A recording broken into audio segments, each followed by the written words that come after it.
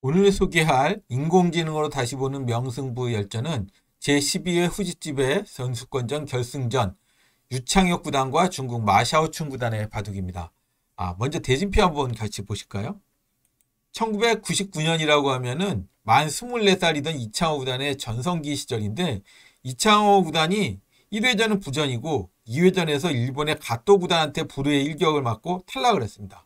그게 조기 탈락한 가운데 어, 우리나라 선수들 중에서는 어, 여기 이성재 선수만 1회전을 이제 유럽의 이제 카타린 선수 이기고 2회전에서는 중국의 강제 창하오를 이기고 아, 8강이 올랐고요. 그 외에는 유창혁 구단, 유창혁 구단이 여기 아, 8강에 올랐고 나머지는 조훈현, 서봉수, 뭐 목진석, 전부 안조영 전부 다 그냥 조기 탈락을 했습니다. 그래서 좀 위기 상황이었는데요. 반면에 이제 마샤오춘 구단은 역시 1회전 부전이고 2회전에서 일본의 구토 그리고 아, 이창호를 이긴 가토를 8강전에서 이기고 준결승전에서는 일본의 고바시 사토를 이기고 아, 결승에 올라왔습니다. 그리고 유창혁 구단은 아, 일본의 그 구도 슌고라고 아, 잘 유명한 선수는 아닌데 이 선수를 이기고 그리고 8강전에서는 아, 이시다를 이기고 준결승에서는 조치훈 구단을 이기고 결승에 올라왔습니다. 유창혁 구단하고 마샤오춘 구단은 얼핏 보기에는 마샤오춘 구단이 훨씬 나이도 많고 어, 고참일 것 같지만은 생각보다 나이 차이도 얼마 안 납니다. 유창혁 구단이 66년 4월생, 아, 마샤오춘 구단은 64년 8월생인가 그래서 두 기사의 나이 차이가 한 20개월 정도밖에 안 나요. 거의 동시대의 기사라고 할 수 있죠. 그래서 역대 전적을 한번 보시면 여태까지 총 8승 2패인데 이 나이를 완전히 먹은 최근 시니어가 된 다음에 네 번 이긴 거를 빼고 나면은 그 전에는 4승 2패. 어, 초반에는 유창혁 구단이 조금 앞서긴 했지만 요 결승전 두기 전까지는 비슷비슷했습니다. 2승 1패였으니까 비슷했다라고 할 수 있죠. 오늘 바둑은 그 중에서도 아주 두 기사가 가장 근접한 그 치수, 즉 반집 승부가 났던 명승부였습니다. 그럼 바둑 같이 한번 보시겠습니다. 유창혁 구단이 흑번인데요. 당시에는 덤이 다섯 집 반이던 시절이에요.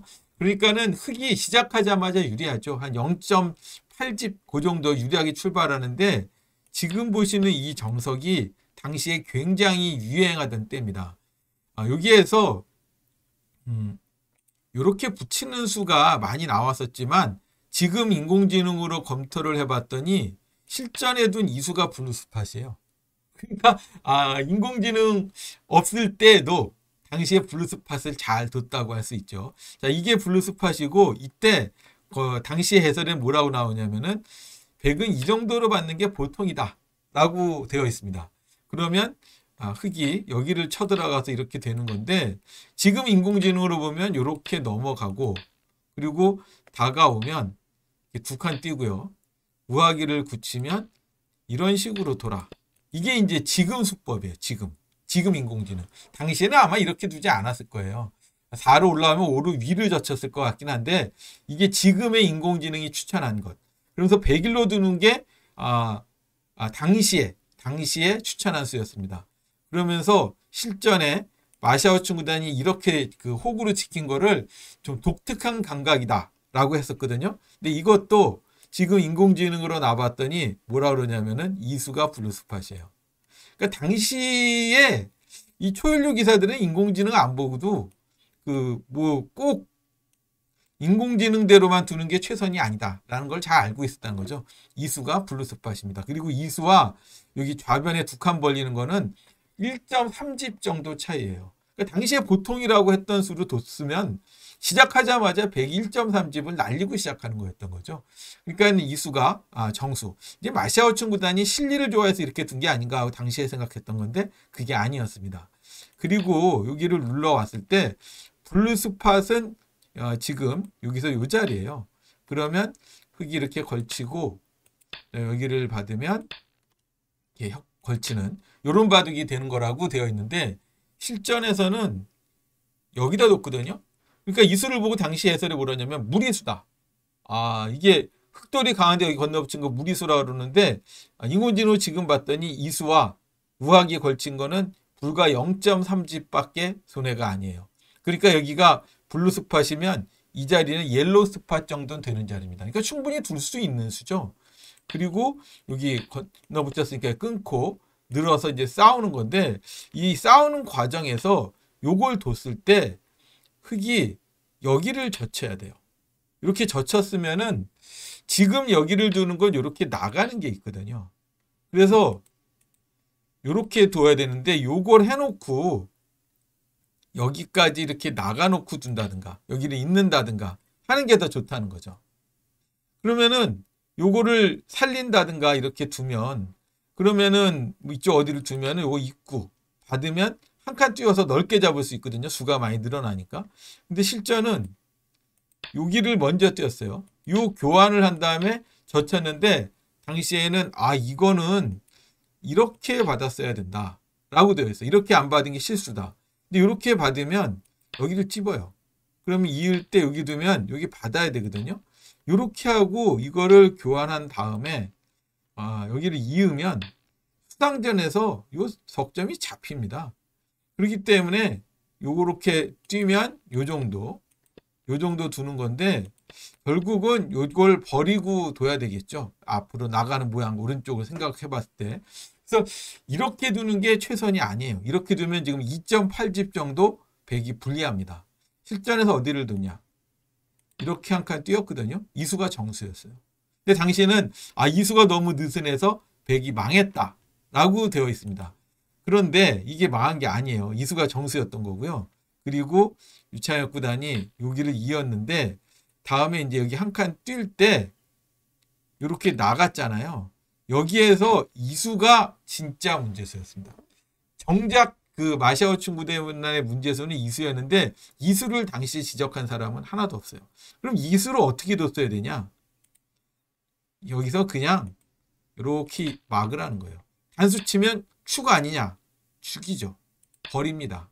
이렇게 해서 두 점을 버리고 좌변을 이렇게 살리면 이 두 점은 죽었지만 양쪽을 다 뒀잖아요.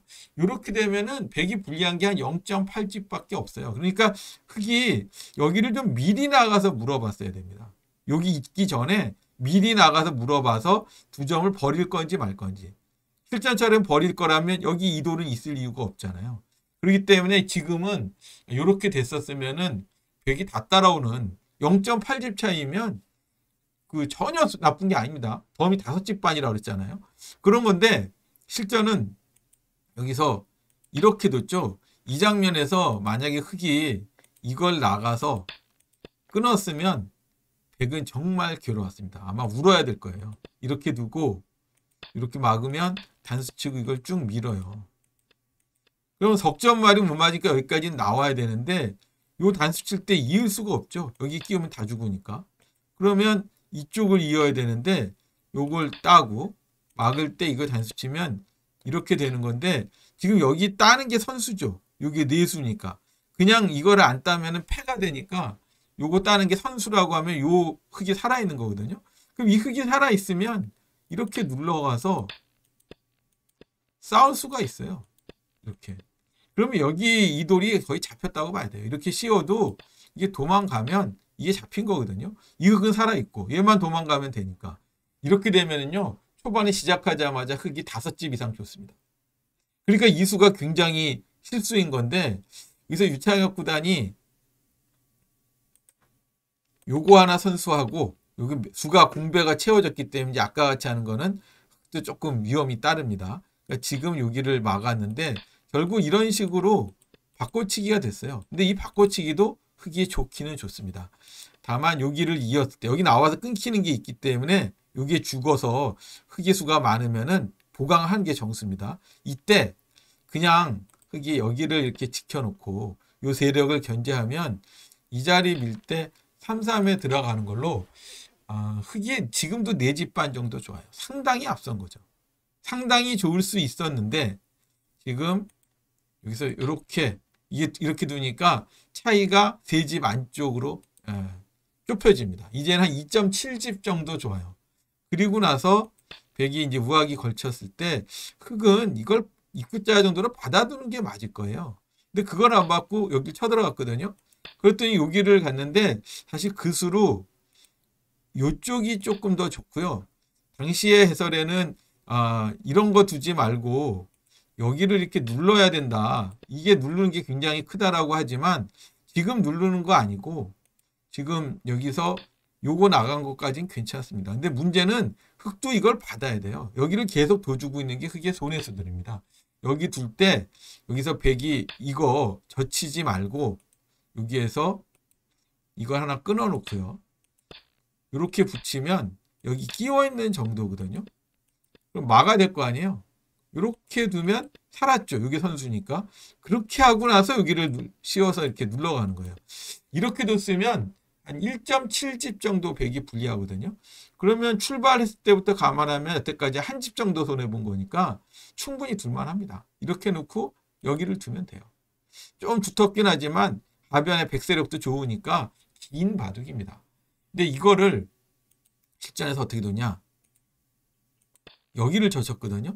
근데 여기를 둬서 이렇게 한 칸 띄고 여기를 두고 여기를 지키는 동안에 요들이 거의 잡혔잖아요 지금. 그리고선 이 자리 백이 눌러가는 자리까지 흙이 차지해서는 흙이 압도적으로 유리합니다. 그리고 여기 왔을 때 여기 누르는 자리가 아주 빛나는 자리예요. 당시에는 이거 이상한 수라고 아 그거 하기 전에 이거를 둬서 이렇게 교환하고 둬야 된다 그러는데 아닙니다. 이것보다 실전에 그냥 이렇게 둔 게 더 좋은 수예요. 이게, 이게 blue spot이 그러니까 당시의 해설이 엉터리 어, 해설이 엉터리 당시 대국자들이 둔 수들이 진짜 blue spot이었습니다. 그리고 여기 눌러서 이렇게 되고 눌러가니까 이제 이 자리를 백이 온 게 좋다라는 의미로 그런 얘기가 나왔던 건데 여기에서 요거 젖혀 놓고요. 다음에 이걸 받지 말고 이거 받은 자리도 굉장히 크고 좋죠. 지금 여기 둬서도 승률이 96% 이런데 그거 안 두고 여기를 만약에 이렇게 나가서 끊으면 여기 이어야 되잖아요. 여기 받아요. 그리고 여기를 지키면 급수 한 방 두고 그리고 이렇게 나를자. 그러면 여기 붙일 때 요거 하나 늘어놓고 이 젖혀서 지키면 지금 흙이 집으로 압도적으로 많아갖고 승률이 역시 96%에 7집 반 정도 줬습니다.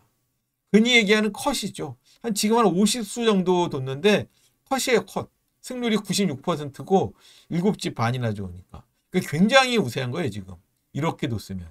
근데 지금 실전도 거의 90, 한 5, 6% 정도 되는 정도로 흙이 많이 앞섭니다. 그리고 여기 뒀을 때 이것도 좀 느슨하거든요. 귀 쪽이 너무 허술하잖아요. 여기 둬서 여기 두고 예, 했습니다. 이게 이었을 때 여기 연결하고요. 빠졌을 때 괜히 어, 이렇게 여기 있고 여기 젖히고 여기를 붙여서 이 맥점으로 여기서 승부를 결정지로 갔다. 아주 좋은 맥점이다 라고 하는데 지금 백이 많이 불리하잖아요. 흙이 많이 좋죠. 변화를 구해야 되는 거는 백이지 유리한 흙이 아닙니다. 여기서 유창혁 구단이 그냥 아유 뭐 잘 둡니까? 그리고 이렇게 여기를 꽉 막아서 여기를 집으로 지켰으면 승률 97.3% 7집 반 이상 좋아요. 여기 두면 받아주고 이렇게 밀어오면 요거 이제 흙은 다 튼튼하잖아요. 이게 푹 들어가서 어깨 짚어 삭감해갖고 살아버리면 많이 이겼어요. 그냥 끝이라고 할 수 있을 정도입니다. 여기 지부를 지키는 게 중요해요. 이게 지부로 굉장히 크거든요. 근데 이걸 안 하고 여기 우변에 이제 쳐들어간 건데 사실은 여기 젖히고 이걸 했을 때 백이 이렇게 밀어갔으면은 살아가더라도 음, 살겠죠. 이거 밀면 이거 잡으러 가긴 좀 힘들거든요. 그렇다 하더라도 이거는 체가 좀 좁혀져요. 근데 실전은 여기를 지키는 바람에 요거하고 이렇게 돼서 아직도 흙이 조금 좋긴 한데 여기 집으로 큰 자리를 백이 차지했죠. 그랬더니 이제 요거를 공격하고 싶죠. 유차약 구단이 공격 좋아하니까. 여기를 두고 이렇게 해서 이 돌들을 지금 계속 공격하고 있는 거거든요. 근데 여기 나왔을 때 요거 하나 끄는 것도 조금 손해고요. 그리고 여기를 붙여서 이런 수들이 다 쓸데없는 거예요. 이런 거를 지금 흙이 많이 좋은데 할 이유가 없어요. 그냥 아, 요런 거 하지 말고 흙이 여기에서 대충 이 정도 어디 삭감을 가면 많이 이겼어요. 한 아직도 단 다섯 집은 이겼어요. 근데 이거를 그 여기를 얘네를 공격하겠다고 이걸 두고 이렇게 호구를 쳤거든요. 여기서 백이 이걸 단수 쳤으면 흙이 괴롭습니다. 이거 있는 거는요. 여기 젖혀서 이 돌이 잡혀요. 여기를 두면 이렇게 늘어갖고 안 됩니다. 여기를 그 끊어도 끊어도 이쪽을 두면은 안 돼요. 이거는 이제 패를 할 수도 있고 여러 가지 수법으로 아, 잘안 되는 겁니다. 그러니까 여기를 단수 치면은 흙은 잊지를 못하고 여기를 이렇게나 이렇게 받아야 돼요. 이렇게 되면 이거는 한 한 집 이내로 갑자기 바둑이 미세해지는 건데 실전에서 지금 마샤오춘 구단이 여기를 늘었거든요. 그 바람에 이 자리를 흙이 차지할 수 있어서 다시 차이가 살짝 벌어집니다. 그리고 나서 요거를 막고 여기 밀었을 때 여기 늘었죠. 여기서도 흙은 그냥 이런 식으로 둬서 여기 상변만 깨면 아직도 한네 집은 이겼어요. 지금 여기 머뭇거렸기 때문에 네집 정도 좋습니다. 백이 다 받아줬잖아요. 흙이 한 거를. 여기 젖히면 이거 이제 단수 쳐서 예, 먹으면 됩니다. 이렇게 되면 이렇게. 그래서 이거는 흙이 꽤 유리한 건데 실전은 여기를 들여다봤거든요.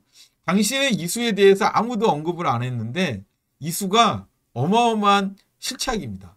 이거를 이어주면 모르는데 2단 젖혀서 반발하는 수가 있는 거예요. 단수 치고 이렇게 집을 내서 이쪽이 늘 단수 치고 늘면 수가 나니까 이렇게 뒀을 때 백이 계속 여기를 둬야 합니다. 이 단수를 치면 지금 이어야 되거든요. 그리고 여기를 젖혀요. 이걸 두면 단수를 치고 이렇게 둡니다. 이거를 끊을 수가 없어요. 요 끊으면 이어주고 여기를 둘 때 이게 계속 나가면은 끊지 못하잖아요. 그럼 여기를 두면 여기 끊겨서 지금 곤란하죠. 이 단수 치고 여기 이으면 여기 이어서 얘가 살아갈 때 여기 이으면 요동이 잡혀요. 그러니까 거기는 못 끊는 거죠. 그러니까 여기는 못 끊고 여기서 이렇게 젖히면 흙은 여기를 두고 연결하고 이렇게 되는 거거든요. 이렇게 되고 이제 상변을 백이 지켰으면 역전입니다. 백이 한 집 정도 좋아요. 여기 들여다본 수가 완전히 떡수였던 거죠. 이게 대실수였는데 요 수는 별로 언급 없이 왜냐면은 백도 잘못 봤거든요. 여기서 이렇게 받으니까 이렇게 느는 수가 선수가 돼서 들여다본 수가 별로 손해가 아닌 게 됐어요. 그래서 다시 지금 흙이 조금 앞서고 있는데 여기 건너붙인 수가 중대한 실책입니다. 이건 정말로 중대한 실책. 이게 너무 실리에 여기 무슨 수가 있거든요. 수가 있다는 거에 너무 민감하게 둔 수인데 여기를 둘 게 아니라 상변을 둬야 돼요. 지금 많이 미세해지긴 했어요. 아까보다는 차이가 많이 좁혀졌지만 지금도 여기를 젖혀서 받을 때 나가고 이렇게 되면은 받아야 되잖아요. 그리고 여기까지 쳐들어가면 여기 단점이 있어서 3, 3을 쳐 들어와서 백도 실리를 챙길 때 여기를 밀고 연결하면 요거 들여다보고 그리고 이렇게 딱 덕자머리 두들기면은 이건 아직도 흙이 한집 반은 좋아요. 차이가 많이 좁혀진 건 맞지만 여기 좀 잘못 둬서 그래도 아직 한 집 반은 좋거든요. 근데 실전은 이거를 그 욕심을 내다가 요거 하고 단수 치고 원래 여기서 하겠다는 게 지금 이걸 한 칸 뛰겠다는 건데 이것도 바로 하지도 않습니다. 원래는 하려면 바로 해야 돼요. 귀를 요거를 젖혀서 여기 둘 때도 하려면 여기는 해야 되는데 여기 맞고 3, 3 들어오니까 여기 두고 아 여기까지 하면서도 이걸 안 둬요. 근데 지금 바둑이 이미 역전됐습니다. 백이 상당히 좋아요. 지금 여기 자세히 보시면 흙은 아직 수가 나질 않았고요. 여기를 연타를 백이 했고 중앙도 백이 뒀습니다. 그러니까 큰 곳 두 군데를 백이 다 둔 거예요. 그러니까 지금 백이 상당히 앞서 있고요. 여기서 요거 늘었을 때 이렇게 모양 갖추는 것보다 솔직하게 줄여서 이렇게 지켰으면은 백이 한 5.3집 정도 좋습니다. 그러니까 아까 크기 한 5집 정도 좋다 그랬잖아요. 어느 순간에 10집이나 크기 손해를 본 거였죠. 이렇게 뒀어야 되는데 지금 여길 뒀거든요. 이게 조금 더 집도 크게 나고 모양도 나오고 아, 크기 약점도 노리는 것 같지만 호구 치니까 여기 붙이는 게 있어서 또 지켜야 됩니다. 그러니까 한번 더 지켜야 되니까 이수가 약간 실수인 거예요. 여기 한 번 더 지킬 때 여기 단수 쳐서 어, 이제는 차이가 어, 한두 집, 두 집에서 세 집 사이 그 정도 배기 좋은 거로 차이가 좀 좁혀졌어요. 그리고 여기를 젖히니까 받았죠. 이거 안 받으면 느는 수가 있습니다. 그래서 이제 받아야 되는 거고 요거 늘고 요걸 뒀을 때 백은 요걸 단수를 쳐놓고 여길 이어야 돼요.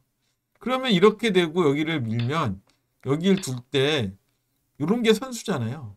이런 게 선수가 돼갖고성 좀 여유가 있는 그런 모양이죠. 지금은 아 흑도 여기가 조금 못 살아 있는 게 있고 백은 요게 아, 지금 이거를 당장 이렇게 두는 건 아니고요. 이렇게 두면은 이쪽은 내버려 두고 여기다 두고 살겠죠. 받을 때 요거 있는 게 선수니까 여기다 치 받으면 살거든요. 그래서 여기다 두면 요게 선수니까 이거 하고 이렇게 하고 이렇게 두면 살죠. 이렇게 살고 두면은 백이 지금 꽤 이겨 있는 그런 상황입니다. 실전은 그냥 여기를 이었고요. 요걸 밀 때 모양이 조금 달라요. 요 교환이 돼 있는 거랑 없는 거랑이 나중에 조금 모양이 다릅니다. 그리고 여기다 두고 사는데 요 수도 실착이에요. 그 수도 이거를 먼저 하고 그리고 넣어야 됩니다. 요거를 하고 안 하고 지금 실전은 그냥 이렇게 놓거든요. 그래서 요걸 여기다 당했죠. 요게 거의 두 집 가까운 손해라서 아까 백이 요 자리를 뒀으면 한 네 집 정도 좋을 걸 지금 요 자리를 흑한테 당하니까 차이가 두 집 정도로 좁혀졌습니다. 두 집이면 추격 가시권 내죠. 근데 다만 여기서 여기 수를 내자고 이제 왔고요. 그리고 이어서 수가 나긴 났는데 여기 둘 때 젖힌 수가 사실은 말도 안 되는 이상한 수예요. 그런 거 두면 안 됩니다. 여기를 끊으면 여기 계세요. 이렇게 끊으면 대책이 없잖아요. 어떻게 두죠? 요걸 젖히면요. 요거 하나 단수를 치고 잡아요. 단수를 치면 있고 그 다음에 이제 여기를 두면 요거 하나 단수 쳐놓고 그건 물론 이건 할 수 있습니다. 이게 언제든지 선수 권리예요. 이렇게 되는 건데 여기 따 이으면 따요. 그럼 흙이 결국은 요거를 잡아야 돼요. 여기 사는 순간에 이 흙대마가 못 삽니다. 그러면 이렇게 잡아야 된다고 생각하면 여기를 둬서 이렇게 됐다라는 거잖아요. 백집이 거의 다 굳어졌죠. 여기 좀 깨졌고. 이러면은 백이 한 82% 승률, 4집 넘게 백이 유리합니다. 근데 실전은 여기를 그냥 받아줬거든요. 그래서 지금은 거의 반집 승부예요. 백이 이제 우세한 게 얼마 안 남았습니다. 정말 조금 우세해요. 그리고 나서 여기를 이으니까 요거는 이렇게 받아야 됩니다. 지금 요거에 이었다가는 붙여서 다 죽어요. 그리고 여기를 끼웠을 때 백이 이 뒤로 받는 게 정수거든요. 근데 이거를 안쪽으로 받으니까 여기 끊겨서 좀 차이가 좁혀져서 이제는 진짜 0. 몇 집. 그 정도 차이까지 차이가 좁혀졌어요. 그래갖고 야 이거는 다시 개간가? 근데 당시의 분위기는 이때 무조건 져 있었다. 아까 여기 아, 잘못 뒀다 그랬잖아요. 여기 하변에 수를 내면서. 이게 잘못돼갖고 무조건 아, 백이 이겼다라는 분위기였는데 조금씩 조금씩 따라가니까 어 뭔가 될라나? 뭐 이렇게 생각을 하고 있을 때죠. 여기 할 때 젖히고 그리고 여기 뚫고 있고요. 그리고 여기 빠졌을 때 요거를 하는 게 아, 백이 기민했어요. 이렇게 하고 요 따내는 거 그리고 이을 때 여기 밀고 여기를 이제 쳐들어왔잖아요.